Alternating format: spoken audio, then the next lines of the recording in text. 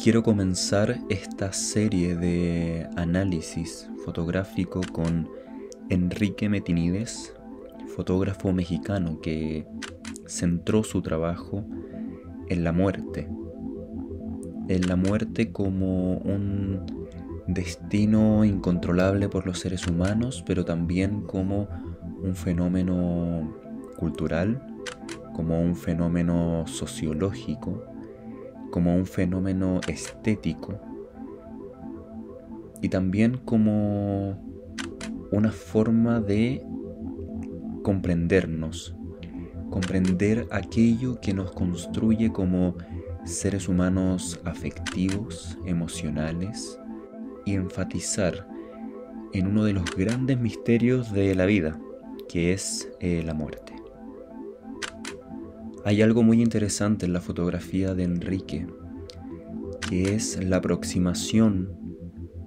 racional a un momento, espacio-tiempo caótico.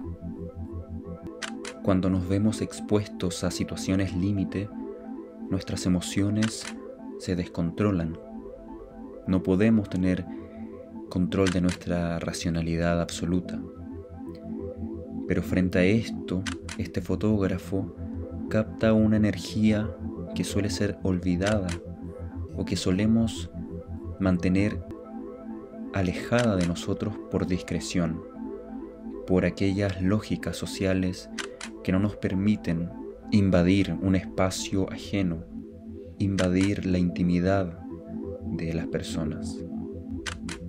Pero en esa energía que capta Enrique hay un potencial para poder aportar desde la fotografía a la comprensión compleja y cambiante de los seres humanos, inmersos en una sociedad que limita nuestras emociones y que nos obliga a enfocar nuestras energías en la búsqueda del éxito, la fotografía de Enrique nos invita a reenfocar nuestras vidas hacia lo esencial. Y de forma mágica aprovecha estos momentos para crear un lenguaje fotográfico, sin olvidar la estética de las cosas,